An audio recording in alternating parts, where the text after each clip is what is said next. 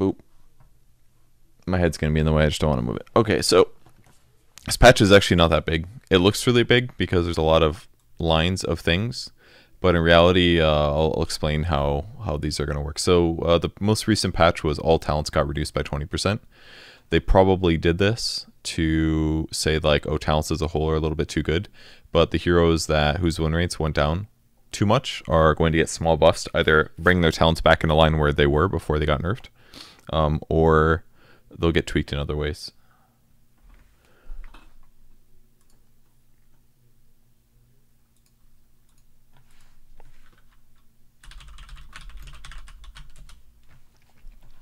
Okay, so uh, Royal Jelly, pretty big buff for Royal Jelly. It was already one of the best items um, one of the best uh, neutral items in the game, in my opinion. I think it had a pretty decent win rate. If you looked at, um, who was it? Uh, Noxville did some data based on pro games about which neutral items are the best, and I think Royal Jelly was was one of the highest, I believe. Um, and now that you can use it uh, globally, it's really nice. Do it duplicating on illusions really doesn't matter that much. I guess it's kind of a small buff, but being able to use Royal Jelly across the map is a really, really big advantage. Um, just because it'll get you the buffs a little faster instead of having to send it back and then I have to wait to grab it. So I'm pretty happy with this. It's just going to make the game easier to play with, basically. It's like, why not be able to do it? You can do it with moon shards and stuff. So um, I think it'll be nice to, to help the games duplicate on illusions was so you couldn't find the replay. Okay, that, that makes sense. Thank you for that clarification. Um, before that, I mean, illusions do have regen, so it having extra regen is really not that big of a deal, but that's a really good point. So for top tier players, they would be able to click on each.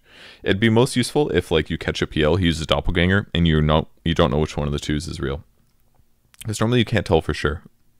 If they micro correctly, both the illusion that takes equal damage to your hero and your hero will appear the same if they micro them well and therefore, uh, if you're checking between two illusions, you could just do a royal jelly check, and then you know which one's real. So that makes sense that it will now duplicate on illusions, um, which is just all around better for illusion heroes. Not that it's that big of a deal, but it'll help a little bit. Anyways, uh, Illusionist's Cape now dies if the item's unequipped to prevent people from abusing it for its illusion bonus that could be used to counter initiations basically, but also want to equip a better uh, item. So it's going to be, it's still going to be extremely good for illusion heroes, but if you're trying to abuse it, then um, they'll remove that. So it'll be a little bit weaker. Okay. Uh, alchemist buffs. Uh, these are pretty darn close to um, bringing him up to parity. Um, uh, and a lot of these, I've already read through these um, most of the way once. A lot of these are movement uh, adjustments in terms of like uh, order stuff. Maybe not this one. Attack speed reduction, damage reduction. Elk, Elk is one of the few heroes that got a moderate amount of nerfs due to the gold change thing, I think. Because with comeback mechanics being weaker, being able to passively hit creeps is going to be stronger. So Elk, uh, small nerfs, uh, AM's small buff. Axe had a little bit of a weird situation. Lower strength gain, which means that like at the start of the game, he's basically as strong as he was before. But over the course of the game continuing, he's going to be a little bit weaker. With that said, he's getting more strength from his 10 talent. Um, and then they move the attack speed talent to 15, and they move the movement speed talent from 15 to 10. So if we look at it now, it's either strength or mobility.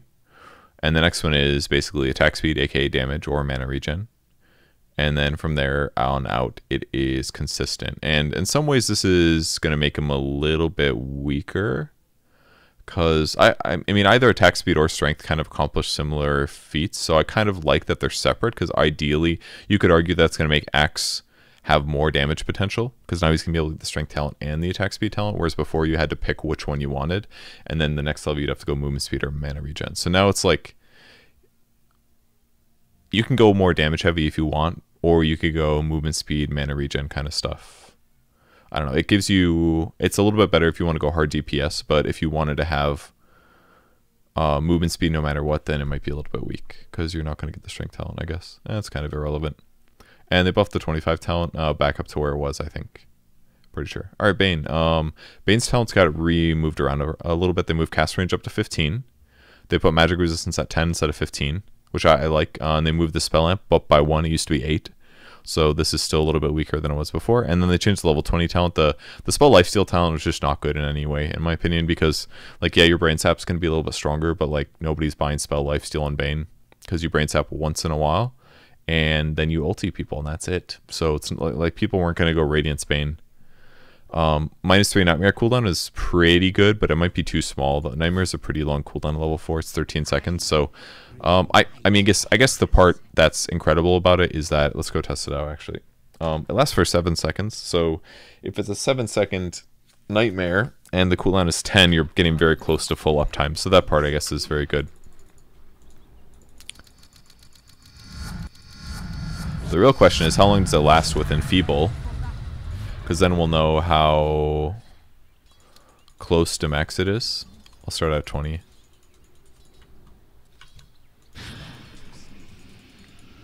Maybe we could just do the math, I guess. But this is 15% increase. 7, 8. Well, it's like one more. Start at 5, 4, 5.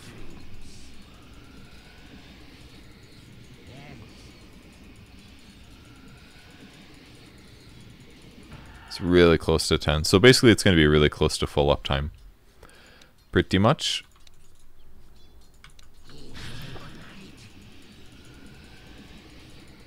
We'll see what the timer is when this ends. It's pretty powerful though. Very close to full uptime. It's really close.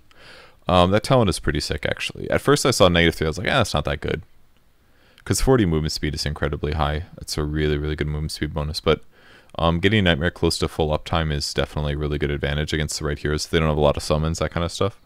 Um, Nightmare in one guy and gripping the other is a, is a really solid move. So I, I like that talent a lot. Big fan. Especially because it also gives you more opportunities to like dodge spells on yourself and not feel like you just wasted your big ability. So. Alright, where are we at? Let's go back here, scroll back down. Oh, got so much left. Batrider talent. Um, small nerf to Batrider still. Small buff to the talent that people don't get the Flame Break one. Speaking of Flame Break. 15 second cooldown said put it down to 7. You could perma Flame Break people, basically. Uh, Beastmaster base damage reduced by 4. His win rate was really high. He was like in the top 5. They rearranged the talents. They put the Hawk cooldown talent from 25 to 15. They moved Wild Axes to 25, giving it 80 damage. So that's 160 bonus damage at 25. And the boar damage went from 15 to 20 as well. So basically all the damage is delayed on the here. Before you'd have boar damage at 15, you could get wild axes at 20. Now it's uh, wild axe. All the damage stuff is at uh, 20 and 25, with the exception of the 10 talent to the right. So um, the lower hawk cooldown is potentially really good. Um, it's a 30 second cooldown, so reducing the hawks to 16 is like potentially really good. That one seemed quite good to me when I saw that change. 16 second to throw a hawk around for vision, and they give 900 units. Like, that's really good, in my opinion. It's going to be hard to not take that one constantly, in my opinion. Like, think how easy it's going to be to deward. You could play, like, support Beastmaster. Hooray! Alright, you shouldn't probably play support Beastmaster, but if you're playing, like, support Beastmaster and you're dewarding, it's really good. All right. Uh, Beastmaster, Brewmaster talent, uh, five more second reduction on Brewmaster. It's fine. Um, your uptime will now be minus 65. That's what it used to be, I think. So that puts you at 55 second cooldown, 20 uptime. So you have like 35 seconds of downtime when you after your primal split now, which is pretty darn good. Will it solve Brewmaster? No, I don't think so. But he's still kind of good. Talent's got nerfed a little bit, but I don't know. He's still kind of okay.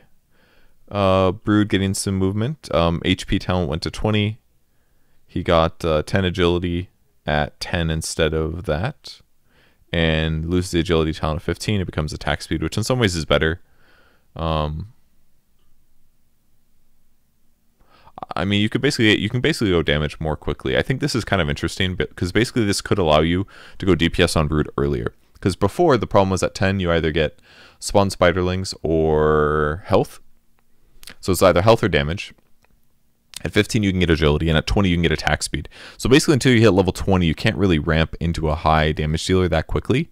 This could potentially, with like 10 agility being at 10 and 30 attack speed being at 15, like level 15 doesn't take that long to get to. You could hypothetically transition to a right click build a little bit faster. Brood's not good at it, but you might be able to. So maybe there's some play potential there. It's probably safer to still like focus on split pushing and buying like ore items and defensive items, but could work. Um, Centaur getting a 5 health regen talent at 10. I'm a big fan of this. The, the evasion talent was kind of cool, but it's such a small percentage.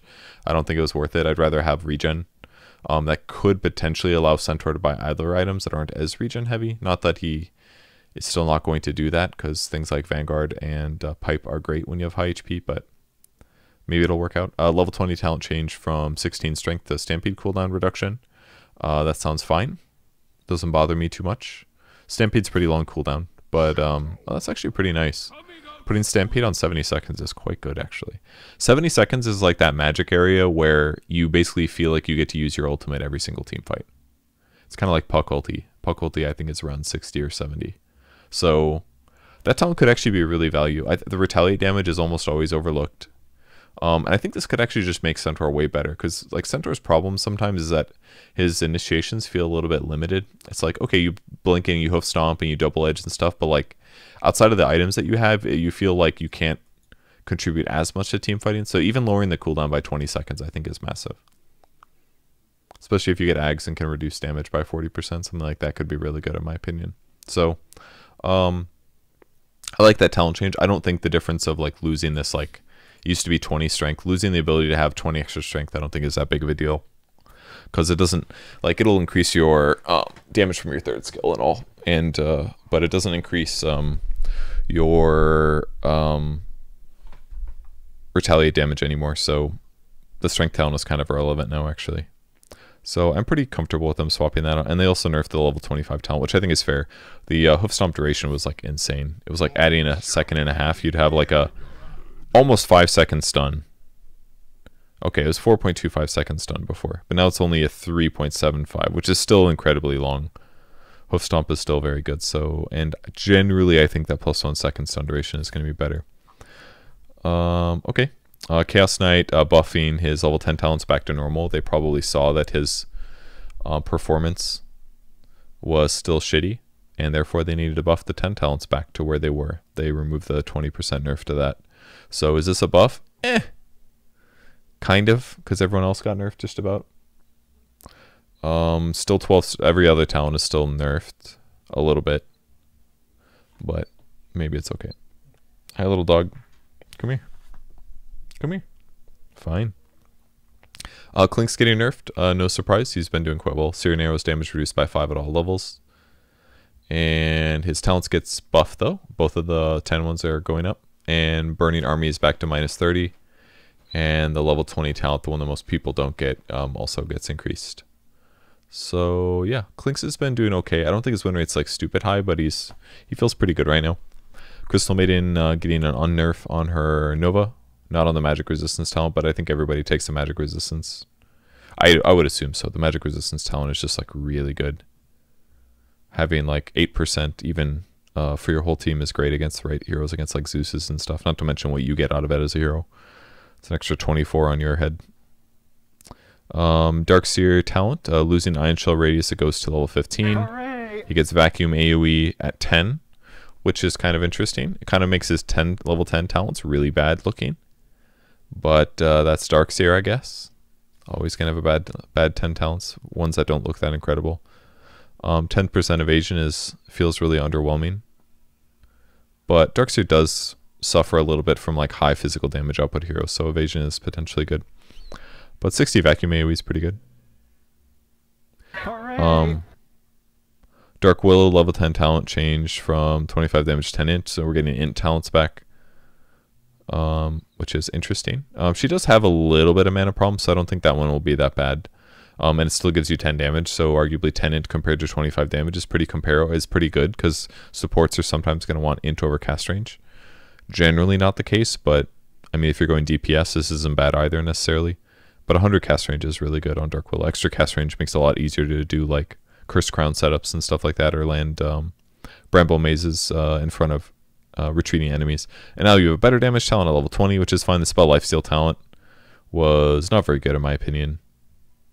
Because you don't really need that much spell lifesteal, even though it's decent with Bedlam.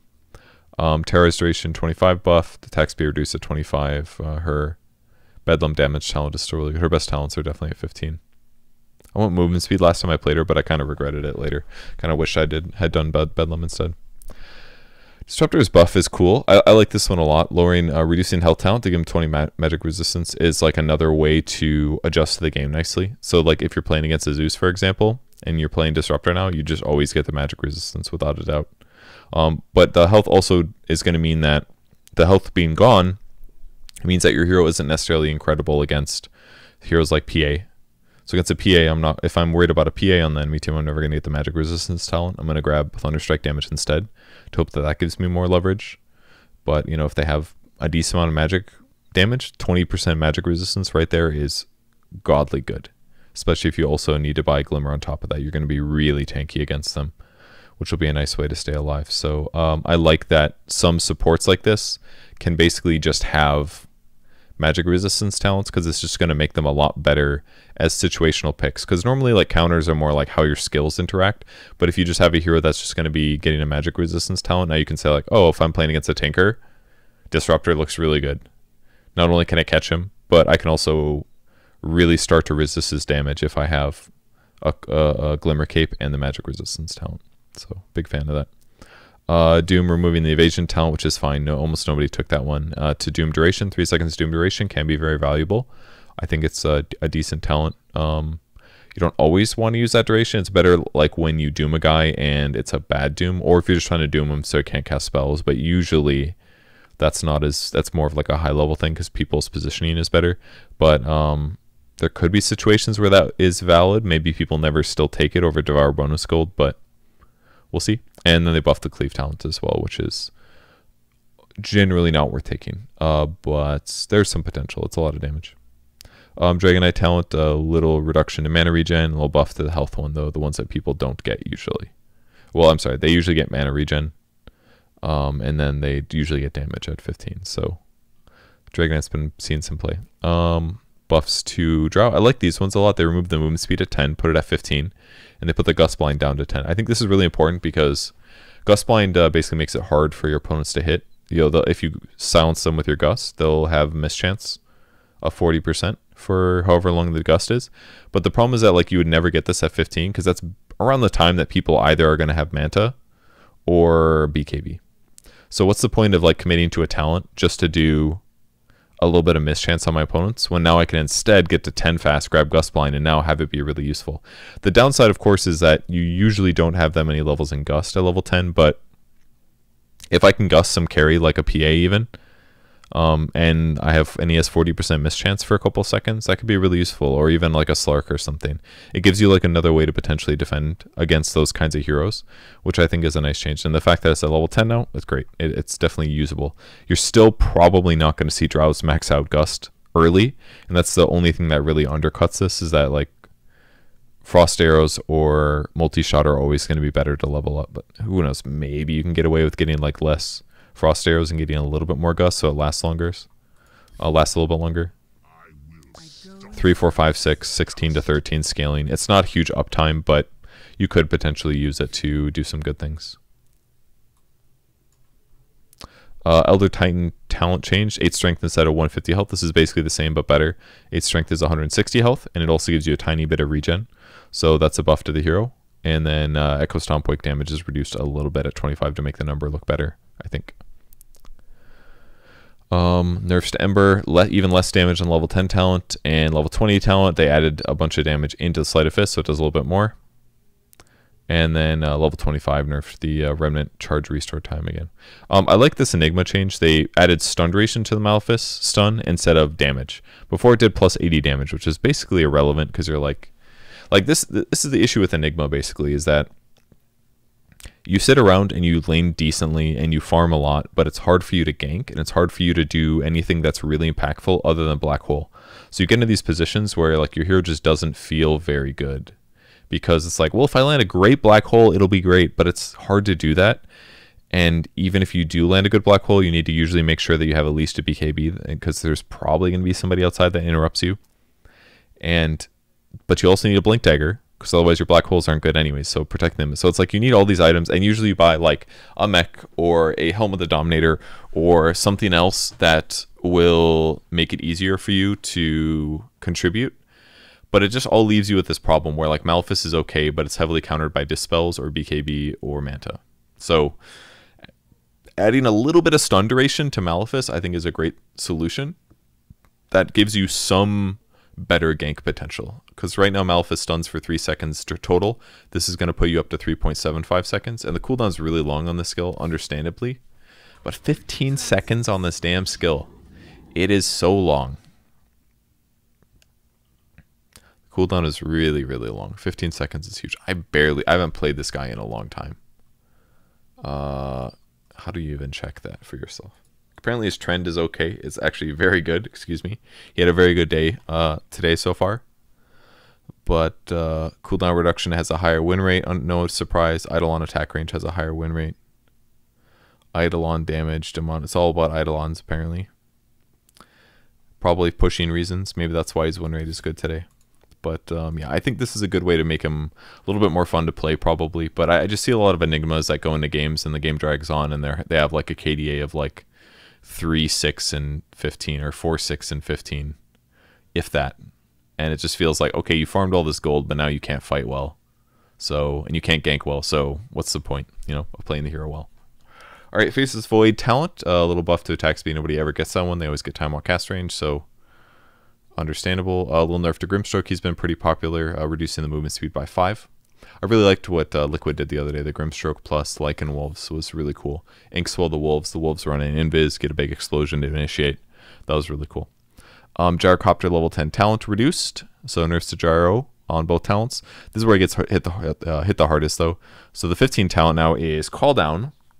Well, this is kind of fun though. It's Call Down Cooldown or Homing Missile Stun Duration. Both of which are talents that almost nobody ever gets, but now they're on the same tab. So you have to get one. Take that, suckers. Somebody has to figure out which one's better. Uh, homing missile stun duration is not bad.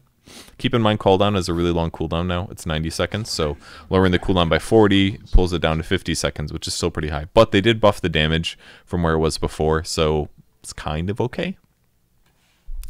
His win rate is not looking good at high levels. In fact, it's not really looking good at any level. But he does still get used by pros, because he has some abusable mechanics. Um, anyways, uh, homing missile stuns for 3 seconds, so adding 0.4 is okay.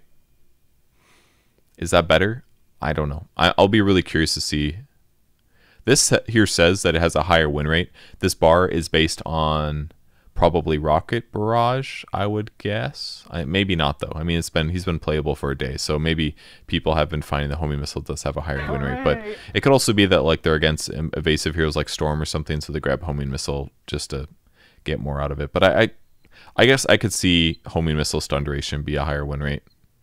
Now they have Rocket Barrage on the same one as movement speed. This one's hard as well, but it's probably movement speed. And they buffed the Rocket Barrage damage. Uh, it was 12 originally, it's a lot of damage, by the way. The rocket damage is 22 normally, and it shoots 10 rockets per second for 3 seconds. So you're, shoot, you're shooting um, 30 rockets that do 22 damage. If you increase that by 12, you're increasing their damage by a shitload. That's 50 per, more than 50, a little bit more than 50% more damage. So that's a lot of damage. 30 times 22 is 220 times 3. So one rocket barrage on one hero does 660 damage. If you're increasing that by about 50%, one rocket barrage does a thousand fucking magic damage. Rocket barrage is really good, guys. It's a really, really good skill for uh, for killing people by themselves. A thousand magic damage. It's crazy, right? And that used to be a level 15 talent. So what that basically means is that Gyrocopter's mid game is going to be a lot weaker than it was before. Because now instead of doing 900 damage or almost a thousand damage with Barrage instead of 600. Now he's like, oh, I'm gonna stun you for 0.4 seconds more. Good luck, you know. It's not nearly the same.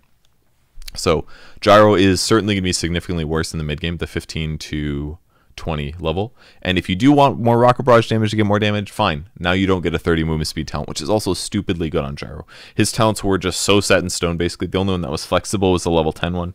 It's like, do you want the damage or do you want a little bit extra HP this game? Now it's it's a harder decision. It's 12 damage 175 health, and then the uh, the other ones are kind of up in the air. So, uh, yeah, Rocket Barrage is very good against single targets. It's really really good. It helps uh, give the hero like perfect um, blend of of uh, damage. Um, Huskar talent losing strength, or but instead gaining Berserker's blood regen. Let's look at the numbers on this. Um, plus 40% Berserker's blood regen. Does that mean the max strength regen? Is that 40% across the board? I'm not really sure. But I like that it actually does something instead of just strength. Because just strength like feels like the right thing to do most of the time, but the problem is that you are kind of it's just kind of boring basically. But now it's like, oh, if I really want a lot of regen if they don't have a spirit vessel, then going extra regen for Berserker's Blood makes a lot of sense. So I'm uh, I'm kind of into it. I like that these are equal. This is good. Damage is better than health, apparently. Burning Spear is pure. I'm not surprised. That's just way better. A lot of Huskar bands. So people don't want people to last pick Huskar. This set is so sick, actually. All right, where are we at? Invoker uh, level 10 talent increased from 30 to 50 Chaos Meteor contact. Used to be 40 before it got nerfed down, I think. So this is basically showing that people are not picking that talent often on the hero. Um, and that's partially because people are they're just doing a lot more ghost walk ganks basically. Forge spirits, some of them have a higher win rate. Interesting. Alacrity, damage, speed, and plus two Forge Spirit armor reduction. Wow. 10% win rate. But nobody takes it. Basically nobody. But it says it's better. I mean, if you get Forge Spirits here, and you get plus two Forge Spirit armor reduction, I think they go from minus one to minus three. So in longer fights, it's probably really good, actually. But I don't play Invoker so that often. And when I do, I play it poorly, as you can tell. So I will not be testing that one out, let me tell you. Uh, Io, uh, level 20 talent change. This, these were kind of interesting. So they had to relocate to his 20, which is probably good for the hero. And then they changed to 25 talent from relocate to health. So he loses a, a free armor talent. He's still going to be bad as a core, in my opinion. Like it's still, you're still just really, like really limited. The slow, losing the slow on the spirits and the hero damage at 15 was just like too catastrophic for making the hero worse. So he'll still be functional as a support, but he should be better now with the lower relocate cooldown because that puts you from by the time you're level 18 you have a 60 second cooldown you can lower it by another 25 so that is a 35 second cooldown on relocate. So 12 out of 35 seconds you could be somewhere else on the map which is going to be a buff to support io it'll be easier to move your carry around different places like to counter um, to split push lanes that kind of stuff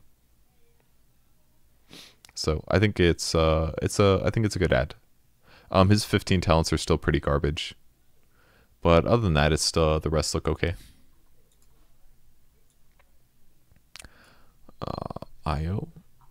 Jakiro. Uh, little baby buffs to his talents. Uh, I'm sorry, nerf to the 15 left one, though. That one was just too obviously good. Uh, plus 25 dual breath burn damage is still decent. It is 100 extra damage, basically, per dual breath. Because, uh, or does it burn five times? It burns four, I think. Oh, no, it is five seconds. Okay. So that talent will increase your damage by 125. The plus 25 dual breath burn damage. It's decent. It's good. For sure. If you're wondering why my GPM is so much higher than the average Jakiro, it's because I push lanes a lot. It's very important on Jakiro. And I have a lot more last hits. That's why. Once in a while I play core Jakiro, but I also push a lot of creep waves with Jakiro. Minus 50 liquid fire attack speed is a higher win rate. Good for that. One second ice path duration. Just not the same. I do like Jakiro. Yeah, I'm not surprised the attack range. People like default. I always take spell amp, but if they there's like a lot of melee heroes that are kiteable that I'd like to liquid fire, then I will sometimes go like attack range and liquid fire attack speed. So, all right. Dang it. Juggernaut, uh, Helm of the Dominator apparently didn't work before. Omni Slash now waits for a little bit of time before ending but doesn't find any valid target. This basically means that players that briefly like phase off the map um, with like man like sometimes if you omni slash and the exact time that your hero is about to slash if somebody uses manta and in that moment their hero fades out of the map it's like a very small window but hypothetically people could like interrupt omni slash with manta style or other things that hide them briefly or if they juke for just a moment and then come back into vision omni slash could hypothetically continue slashing so it's going to make it a little bit easier to like link your omni slash together which i think is fair because the skill is not that incredible at the moment. I feel like I feel like it's very easy to get countered. PA blur, yeah, that's another really a perfect example. The PA blur one's so fucking annoying actually. When you omni slash uh, PA blur, you omni slash him, he's by himself, he casts blur, he goes invis for just a moment, and then he's visible again, and your omni slash stops. It's like, oh, very cool. PA blur still works. Fuck. Let me see. Uh, let's test it out. Time walk. Uh, time walk's a little different because you like move with it, but uh, I can just do this.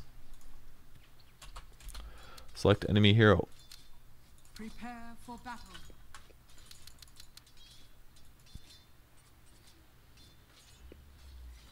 Point seven five. Yeah, it looks like it's still gonna work. Kill me. Hate that shit. I my my assumption is it's not related to the PA blur. It's still like a really good counter. But that's life, guys. Guess you just have to silence the PA. Um, there there are other examples of like Manta and stuff like that. Manta's gonna be hard because I'd have to time it perfectly, so it's not worth me like, because Manta's window is really really small. But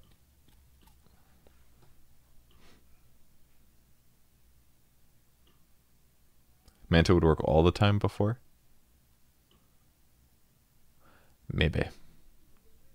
Um, mean, Manta is already good against Omni Slash anyways because now you're slashing illusions and not just the main hero, but uh, the old Orchid Jug build, yes. Um, level 15 talent, buffing that back to normal, and the 25 talent as well, buffing those back to normal. Those are the talents that most people don't get. So no big surprise there. Keeper of the Light, base damage reduced by 2. Kunkka. Uh, more strength. This used to be 20, 20, I think, 25 strength, something like that. Uh, buff Tidebringer Cleave, nobody gets that one. Legion Commander, level 10 talent. 7 strength, used to be 8. I like this one a lot. They Rather than overwhelming odds more damage, it gives you lower cooldown. And overwhelming odds has always been like a really high cooldown nuke, 15 seconds. But now you could have the option of reducing it to 11, which is really nice in the right games. And I'd, I'd rather do this, right? Because, like, okay, like sometimes getting overwhelming odds damage might be good against a Meepo or something where you're like, I'm gonna I'm casting this spell to do damage. But most of the time you cast this spell so that you can get fast and do a little damage. So lowering the cooldown is great. It lasts for eight seconds, seven seconds. So if you lower the cooldown, you'll have seven out of eleven seconds of speed. You'll be able to cast it just to give yourself movement speed um, and it'll be more available to cast in that way. So I, I might take this skill sometimes. Attack speed's probably still better, and based on the last day's uh, games, it does seem like this talent is still supremely superior, but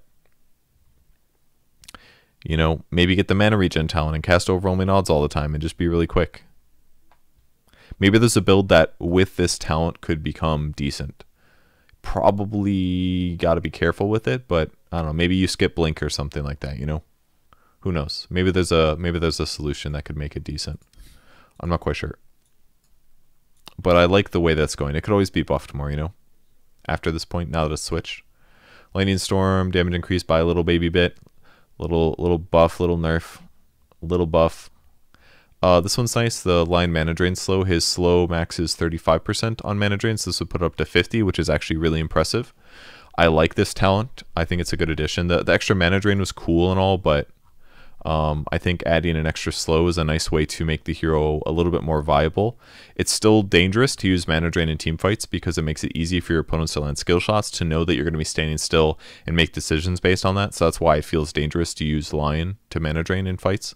But adding an extra slow here, I think is is great. Really, really nice way to increase his uh, chase potential. I like this. Uh, and then it, now if you get plus two mana drain multi-target, actually looks even better. So now hypothetically, you could slow three people by 50%. That's actually pretty sick. And adding more slow here just makes this more appealing. Because again, mana drain is such a finicky thing. It either really matters or it doesn't that much.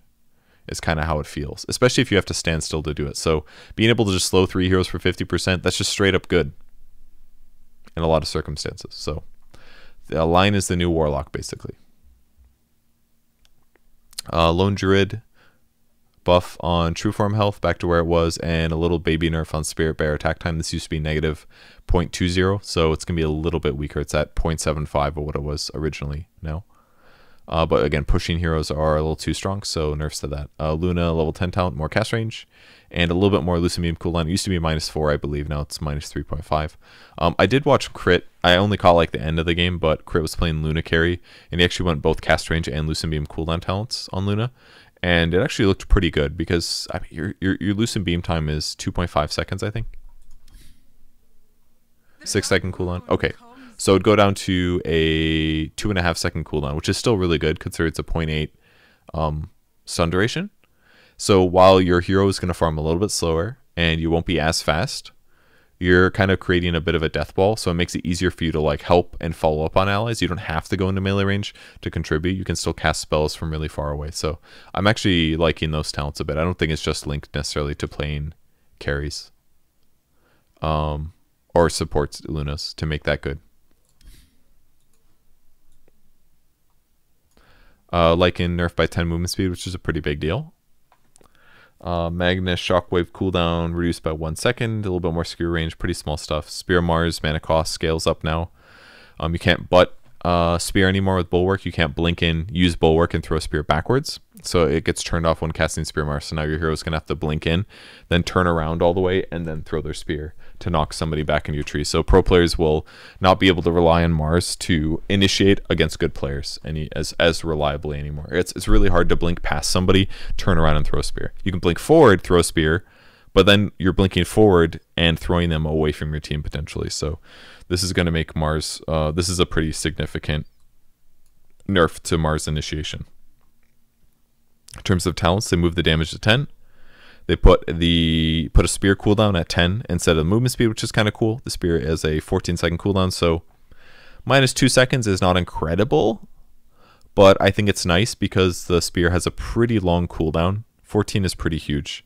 Like 14 is that range where like for a skill that's supposed to be useful constantly, it just feels a little bit too long, kind of. So I'm a, I'm a big fan of uh, of that little addition, even if it's kind of small. And then level 15, uh, movement speed instead of damage. So it's harder to get basically two talents in a row that make you do damage. You can't get strength and damage anymore. You used to be able to get six strength and like 35 damage. That 35 has been reduced down to 20. That 20 got moved down to 15. So now you're looking at not as much raw right click damage. It's hard to have like strong combos and good damage basically on the hero. What if there's like some carry build on Mars that you could make work? Maybe there is something like that that could be kind of fun, but probably not valuable over what you can do in the offlane. Uh, Mirana, level 15 talent reduced. Uh, Sacred Arrow cooldown by a little bit, a little bit more, a little bit benefit to Moonlight Shadow. Monkey King. Uh, this one I was thinking about the uh, plus 100 armor. There are games where I play Monkey King or where I have a Monkey King on my team where he actually does get beat by some guy in a in a Wukong's command, like Troll Warlord. I think I played a Monkey with a Monkey King recently. That there was like a troll and like a PA, or it was just like too much single target physical damage and he couldn't beat them.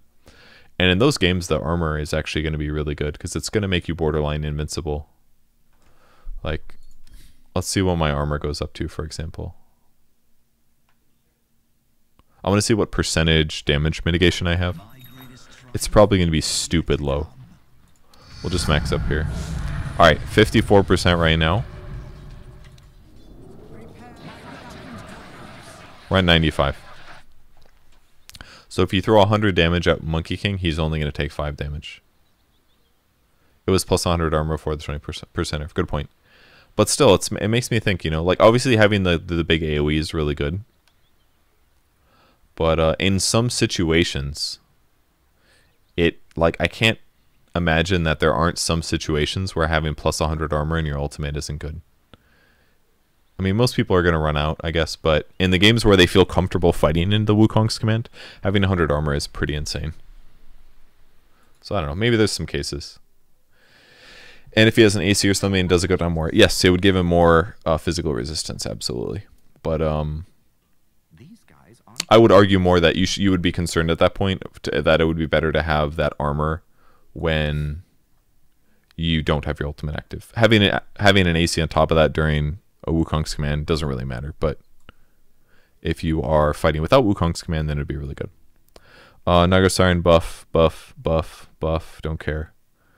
Uh, removing 20 movement speed, talent on Prophet. Nobody takes it though. More Wrath of, Wrath of Nature base damage, which could make your ultimates more powerful. 25 damage is almost always better though, because the hero has really good base stats and good agility gains, so it's going to really help you farm faster. Uh, 15 talent plus extra treant. And uh, Necrophos strength gain reduced. Int gain reduced. His win rate has been pretty good. Uh, buff to Night Stalker, little nerf to Ogre Magi for Bloodlust attack speed.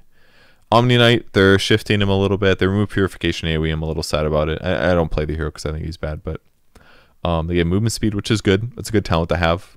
So you either have better mobility, which is going to make it easier to get to allies in time to cast spells, or you grab Heavenly Grace HP regen, which got buffed back up to 10. Um, I think that lasts for 8 seconds or something, so it's like 80 HP. Now it's 12. So it's a it's 120 HP. It's kind of a big deal. This heals for 240 HP to put Heavenly Grace on somebody. So 240 plus an extra 120 is 360. So that's a lot of HP between these two. You basically have two heals now. Um, two big heals. So pretty valuable. Yikes. This has such a big fucking win rate. oh my gosh. Is this like 9 out of 11 games or something? 10 out of 11, something like that. It might be low sample size. Yeah, I'm not surprised mana regen is a much higher win rate. Uh, maybe movement speed is too weak. 20 is kind of low. Omni Knight. Um, so yeah, moving them around a little bit. 70 damage feels kind of mediocre, but I guess you'd farm faster, hit heroes a little harder. Minus two purifications, okay, it'd put you from I think 11 to 9, but 70 damage is a lot. Um, Oracle, I like this change a lot. So the the way this works is plus 0.8 fortunes and max duration means that you can channel your first skill for 0.8 more seconds, so it lasts longer. But now it is a plus plus 0.4 fortunes end duration. So it affects the minimum and max values, does not increase channel duration. So you don't have to channel it for 0.4 more. It's just casting the spell at all does 0.4 more duration. So you could cast the spell and instantly let go, and it's still going to root somebody for 0.4 seconds. So that's kind of cool. Uh, thanks for the gifted subs. So I, I, like this change a lot. I think it's uh, pretty decent. Is that 240 from Omni Knight reduced because of the bonus strength? Uh, no. Giving bonus strength to people would actually add more than that, so it would be higher than 240. Um, unless you mean regen that you gain before they lose HP. Unsure. It's a good question though. It might it might work like that. Like basically, if you give somebody regen, but you put a but you put bracers on them, um, how much regen do they have at the end when you take the bracers away? Decent question. Um, the 20 talent uh, minus 20 false promise cooldown is really good because false promise has a really low cooldown late game. 45 seconds I would put it down to 25 so you'd be 10 out of 25 less movement speed on Oracle is going to hurt him a little bit in the late game for sure because movement speed is a similar mechanic to cast range. And Oracle you need, you need to basically sit really far back all the time. But uh, having a lower cooldown of false promise is going to be good. You're going to be more willing to just throw it out um, OD buffs across the board, buffs here, buffs to his talents. He's kind of in a bad place from my what I understand. Uh, swashbuckle, you can't jump as far, but you can stab a little bit farther, so it's gonna be a little bit harder to escape as Pango. Nerf to talents, it's buff to talent, buff to cleave, buff to blur evasion. These are like back up to what the numbers were before, I believe. They changed. Um, at first, I was really confused by this. Plus eight percent chance to coup de grace to plus 100 coup de grace critical damage. So what this this doesn't mean that your chance to crit is always on. What this means is that when you do crit, if you get this talent, because now it's 100%, it means that you do 100% more damage. So coup de grace would do up to 450 damage. Now if you get that talent, it does 550 damage instead. So whatever your damage is, add that to your crit, and that's how much more you will do now with uh, coup de grace critical damage. I like this better than the higher chance to crit, personally, um, just because. In fact, let's do the math really quick. Spreadsheets. Expected damage is lower. Quit telling everybody the answers already. I was about to figure that out. Boop. Put this over here so we can still see the tooltip. So uh, here we are, 15, 200, 3, 203, 25, 450.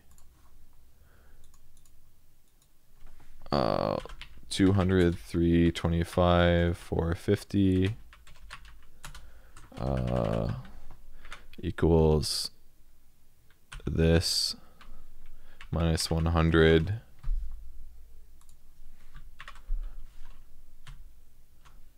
divided by so this is how much more damage you do when you get a crit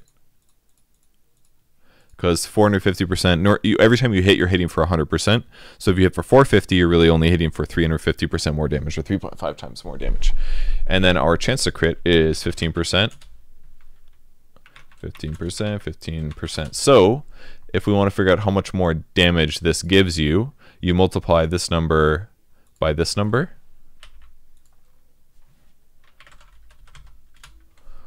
So level 1 PA crit gives you 15% more damage. Level 2 PA crit gives you 33% more damage on average, and level 3 is 52% more damage, which is a lot. So now what we just need to do is duplicate this again, but update it for what it used to give, which is 8% more. So if this becomes 23, here's our damage totals. So before, and then we can do a difference. Goes uh, boop. Need a parentheses, like so.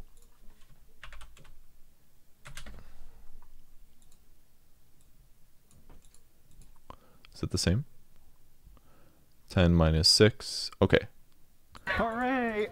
So before the 8% increase, which makes sense, right? Because an 8% from 15 is about 53%. We also could have done this ratio here. This ratio here is probably the same as 53%. So the previous talent would give you 53% more damage. How much does it give you now?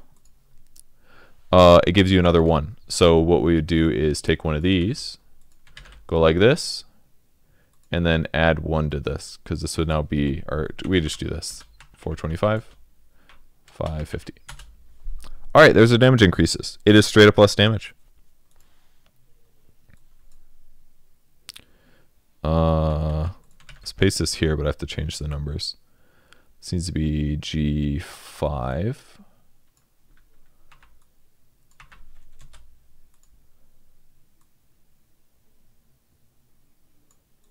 confused. Did I do this wrong? G13 minus G5 divided by G5. Oh. Yes. So 1 means double the damage that it used to, basically. So it's just worse. Yeah, it's just worse. Straight up worse. Um, it is more burst potential, yes, but I don't know if this is better. I don't know. I guess they'll probably buff this up as time goes on, I'm guessing. But it's definitely worse. You guys even see this very well? This is a 1. There we go. 1 meaning that it's double the damage, but that's because it went from 100% damage increase to 200% damage increase.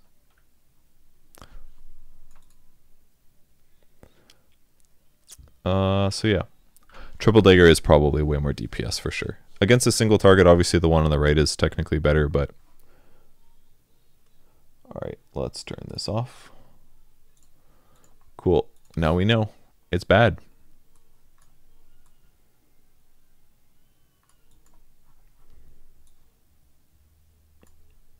I think it's better for them to do it to damage. I, I like that they changed it from chance to crit to better crit but uh, it'll have to get buffed, I think, for it to be value. Level 20 talent increased from more juxtaposed illusions. Basically, that talent is almost never grabbed. I'm curious what the trend win rate is on it. It's a little bit higher, but considering how rare it's grabbed and how close these are, is, uh, the, the obvious thing is just almost always better to do Phantom Rush range. Everybody goes health, basically. This just has to be, I imagine this has to be like bias because of... Uh, cases where people are so far ahead they'll just get Spirit Lance damage or something. But there's no way this this doesn't seem good. 100 damage. I mean, it's a 7 second cooldown nuke, I guess, but you do so much more damage with your illusions. It just feels way stronger to do that. These are pretty close, though. Uh, base introduced by 2 for Phoenix, less mana pool, a little bit less Fire Spirits DPS. Level 20 talent increased uh, back to what it was for Puck. Um, buffs to 15 talent on Razor. People don't get the strength one very often. Buffed Eye of the Storm interval back to where it was, and more Eye of the Storm damage from the passive.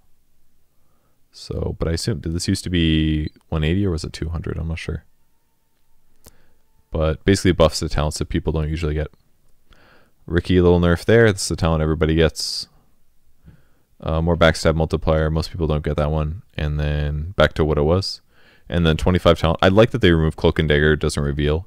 Because it's probably really toxic to play against that in lower levels. I know Riki gets banned a lot and has a high win rate at low levels. Uh, changing it to more smokescreen AoE is fine. I'm sure the AoE is going to be huge. Let's try it out.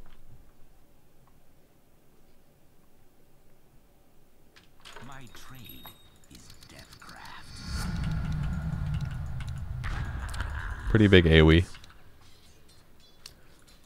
That's good.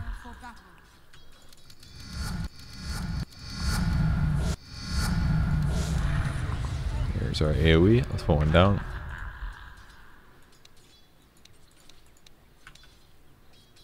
It's pretty big. This cast range is big too. So effectively I can like... This is big. That talent's good. This is a really good talent, guys.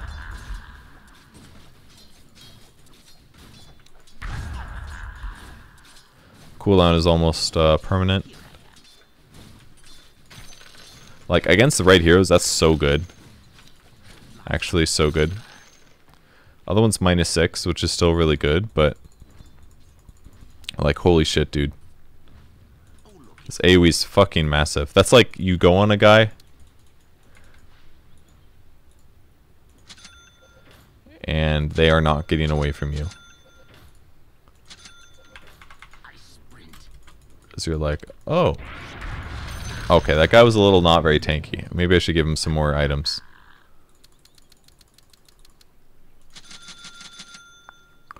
Sell one of these. Get a play now. That'll give him a lot more survivability. Alright, try this again.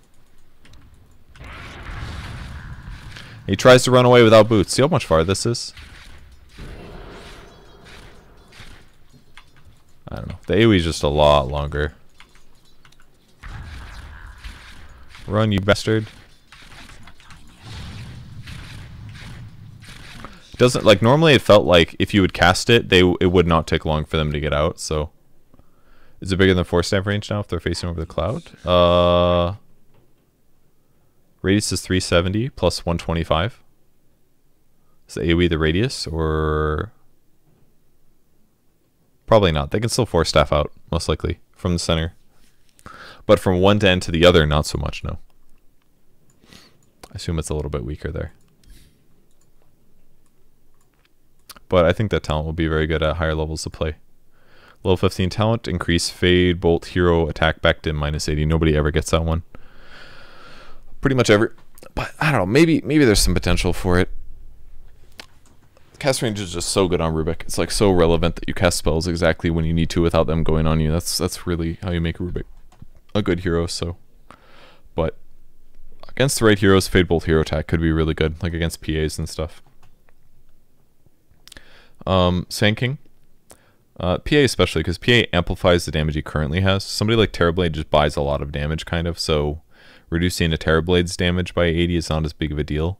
But if like a Jug or PA naturally have a crit in their kit and you lower their damage by 80, then now they're doing they're critting a way smaller number. Does damage get removed or get lowered before the crit though? I'm not sure actually.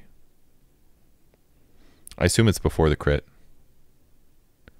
If it's after the crit, it's way worse, but it's probably before the crit. Um, Sand King uh, level 10 talent change to this was kind of cool. They added more like epicenter talents. So minus 30, they put the epicenter attack slow at 10 uh, instead of a movement speed talent. They added two more epicenter pulses at 15 instead of the old epicenter attack slow. Then they added uh, plus 25% damage per pulse at 20. You do 12 pulses, I believe. Um, ah, fuck it, I'll just click on it. I don't want to because I don't want to see it. Yep. Uh, I'm sorry, 10 pulses. 6, 8, 10 pulses. So adding two more pulses of 15 would increase your damage a little bit earlier. Damage per pulse goes up to 130.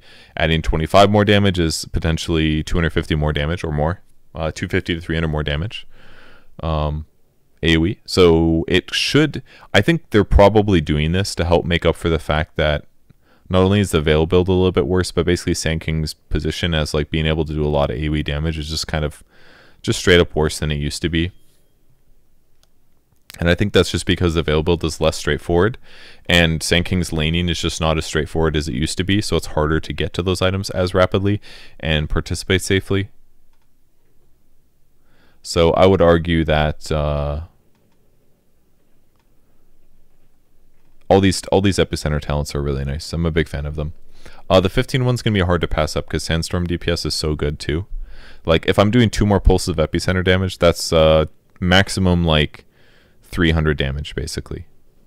But if I but I'm constantly burrow strike sandstorming somebody, and if I get 30 more sandstorm DPS for five seconds, that's like half of that damage. With a very similar talent, I'm doing that constantly, and I'm hitting a lot of heroes. I'm using it against creeps and neutrals as well. So I feel like the epicenter pulse talent on the left is just not value.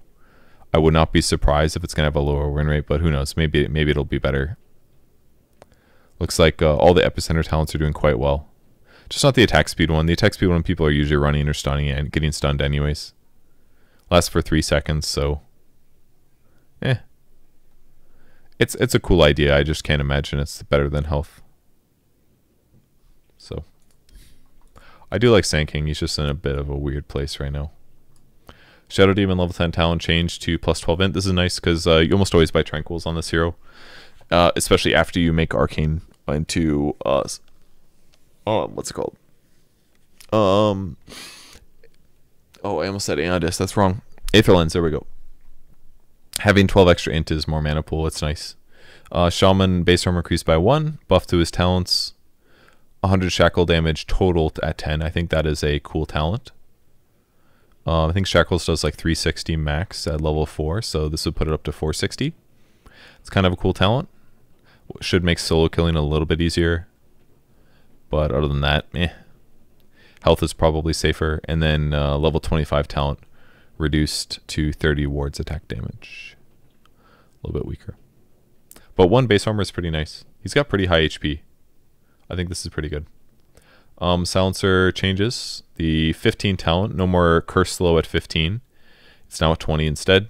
Um, and he's got arcane curse damage increase at 15, which is actually pretty fucking huge does 40 damage at level 4. So if you grab that talent at 15, you're increasing your curse damage by 50%, which I think is a much better way to balance the curse. Because the problem right now is like, curse can be really good in the mid game, and adding a slow to it was nice, but it's not like super punishing, right? It like makes them slower. You're like, okay, I'm a little inconvenienced. I'm a little bit more inconvenienced than normal. But now if it's doing 60 damage a second, and every time they cast a spell, they get five more seconds of that, that's 300 damage, actually. It was 200 before. Now it's 300. Every time they cast a new spell, they take 300 more damage. That shit's going to add up really quickly. And people are going to have to be more careful about reacting to arcane curses with that bonus, I think. So I'm, I'm a big fan of this buff. Yes, they can still BKB, Manta, Lotus Orb, etc. But pulling that down to 15 instead of the 20 talent, I think is going to um, make this timing feel a lot more natural to Silencer, where they were not necessarily going to have the counters ready to go. So I am a fan. Skywrath Mage uh, losing his spell life steal to get Tenant. I think this is good. Tenant is 1.6 extra damage when he uses Arcane Bolt. Not that it's that big of a deal. Uh, my assumption is Skywrath Mage is in a little bit of a weird place right now, but uh, buffs to Slark. I'm sure everyone's happy about this one. 10 talents are a little bit better. They did get nerfed. Uh, used to be 6 agi, 10 strength, I think. So a little bit closer to where he was before. And Shadow Dance Duration also went back up to 1. Shrapnel and Sniper getting nerfed. I know a lot of Sniper 4s have been popping around various places. Um, cooldown reduction talent is nerfed. Shrapnel slow talent is nerfed. And Shrapnel's weaker early on. So it's going to be a lot harder to play. A little bit harder to play uh, Sniper 4 for sure. And when you do buy Ags on Sniper, the stun duration isn't as high. So um, Spectre buff to his 10 talent to keep him a little bit back up to where he should be. Spirit Breaker 5 movement speed. Sven loses the cooldown by a second for Stormbolt. And his talent's to move 2. Lifesteal at 15 instead of movement speed, uh, which is good and bad. Um, Stormhammer Dispels is like not good enough to be a 20 talent in my opinion, so I'm glad it's at 15. But now his 15 talents look weird. It's like you either get Lifesteal or Stormhammer Dispels. The good part is that you don't necessarily have to buy or keep Lifesteal for a long period of time. Like you could hypothetically just ditch your Lifesteal at some point. I still think Mask Madness is really, really good. But I know Echo Sabre gets some use as well. I don't know if it's necessarily better. Maybe allows you to use your stun later, but I could see myself grabbing Stormhammer Dispels almost every time now. But it's hard to it was hard to pass a movement speed before, basically. But now that the 25 is 20 and it's the same level, it maybe you leave. I don't know. Maybe you just skip the movement speed and the life steal. I'm not sure. Uh, it's going to make his build potentially better for life steal stuff, but could be worse. I don't know. More life steal in mid game could be nice. Maybe he stays alive. Um, TA adding movement speed to 10.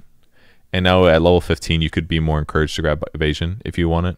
Um, if you evade attacks, it gives you another refraction, so it's potentially really powerful. So, but it's definitely not evasion's not something you'd want to prioritize often on TA. So, uh, but who knows? Maybe it's maybe it'd be good in some situations against right clickers, even buying a butterfly. Who knows? Yeah, Stormhammer dispels enemies is quite good. Uh, dispels Wind Run. You could use it against Glimmer Capes, Ghost Scepters, Force Staffs. So many good options. It's it's really really useful actually to have, but um, it's hard to pick it over movement speed because movement speed is going to increase your farm rate your DPS by chasing people better, that kind of stuff. Um, Terrorblade Reflection cooldown is being removed from the game, which I'm fine with. Not the reflection is that bad these days, but it's removed from the game, and now it's plus 8 conjure image duration, so the illusions you summon with your second skill are going to last longer, so it's going to be easier to build them up. Which means that there's going to be a bit of a game now where hypothetically you could have like, oh, I'm going to build up three conjure images and then use metamorphosis and do a lot more damage. Because the conjure images do, I think, like 50% of your damage, so um, this is good. It's going to also make um, Illusionist Cape on TB a little bit better as well because it makes all of his illusions do 10% more damage. So having more of them out would be better. But again, having AoE against TB is still a big deal. Um, I would imagine that this is going to be a win ro- win loss reduction, but you don't have to take that talent. You could take the plus eight all stats if you really want, which isn't bad either. So, and a little buff to Sunder cooldown as well, which I think puts it at eight seconds when it's gotten. Pretty sure. Uh, buff the trees talents that nobody takes. Nobody takes the damage one. They all go nature's uh, Guise invis. And the leech seed level 21. That one could be useful, but it's not AoE, so it's not incredible. And then uh, DPS for overgrowth has gone up. And these are probably just buffs to put it back to where they were, if I'm not mistaken. Uh, the damage used to be 50, so this one's actually a buff. This is a reset, and that's a reset, I think. So probably not that much better. So I think Sven will have an Aghs build start to show up now. Um, Aghs on Sven sometimes is still okay. And yeah, if you have a Stormhammer build, uh, Stormhammer talents, it's it's cooler. Um, you could argue that um, if you skip movement speed at 20 and go Stormhammer cooldown, but you also buy Aghs, and it's not that big of a deal because it kind of substitutes for movement speed. Yeah, so you could definitely say that Sven is going to be more encouraged to go that build, but who knows? We will see. Strength gain reduced for Underlord, less raw HP, less movement speed, less cast range. Those are the talents that everybody picks, basically. So, little little nerfs to Underlord. Uh, buff to putting his decay back to normal number. Uh, less strength for Ursa. So it was kind of interesting. They put Fury Swipe's reset time down at 10. That used to be a level 20 talent, I believe. No, it was a 15 talent for a long time with the agility. But mana regen's now 15. So he's going to have more mana problems in the early mid game. He's actually going to have to buy Clarity Potions, which is going to hurt him a little. Um, or you have less agility. That's kind of a big problem. Uh, I don't. There aren't a lot of mana regen talents at 15 though. So I don't know, this could have hurt him a bit. Or you could say, hey, I've got more health than I used to on Ursa, which isn't bad either. Uh, 20 seconds Fury, re, re, uh, Fury Swipe's reset time is good in situations where like you engage on a guy, but you don't kill him and he runs away from you, but the fight keeps going on and then you come back to him later. Um, adding 20 seconds there basically means that the Fury Swipes are always ready to go. So I think it could be really good. Um, Viper Nether Toxin maximum DPS increased by a little bit. A little bit less movement speed for Void, a little less damage, a little bit more spell amp than nobody gets. Everybody gets Astral Step, charge restore, uh, Astral Step, charge restore time. The spell amp used to be 15, I believe, before they nerfed it down. So this is arguably still a little bit of a nerf. Um, Shackle Shot cooldown talent back to what it was. Cold Embrace Seal back to what it was. Strength gain reduced for Wraith King. Minus one second Wraithfire Blast cooldown, which I like better than the the the Wraithfire Blast slow duration. That was kind of a crappy talent. Uh, but lowering the stun duration is kind of okay. Down to 7 seconds. It's not terrible. 15 attack speed is still going to be better probably, but there could be some circumstances where you'd like to have the cooldown be just a little bit lower. But attack speed is almost always going to be better because the, the primary way that you're dealing damage from that. And then a little bit of nerf to Zeus's mana regen talent. So pretty small. Is Pillar totally God? No. Nobody is dead from these patch this patch, guys. This patch is I know I talked for like an hour here, but this is all pretty small stuff as a whole pretty small changes to heroes. There are some that matter a lot, like the Bulwark one's going to be a big deal for pro players. It'll make Mars less effective. 10 movement speed on Lycan's kind of a big deal. Like, there's definitely some that matter, but the Gyro one is pretty big, the Rocket Barrage, but like, this is a pretty mild patch, guys. Pretty mild patch.